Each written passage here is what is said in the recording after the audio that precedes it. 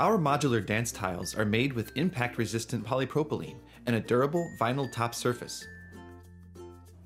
Each tile is 12 inches by 12 inches, or 1 square foot, and weighs about 2 pounds. Putting together your tiles begins with a single tile to start an L shape.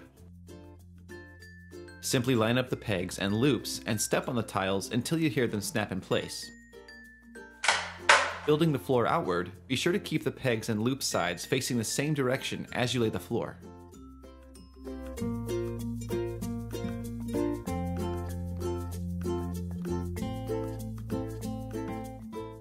Edge pieces are available to create a finishing transition and will interlock with the tiles in the same way the tiles interlock with themselves. Edge pieces are designed in four types male, female, male corner, and female corner. Simply interlock the edge pieces to the corresponding side to complete the floor.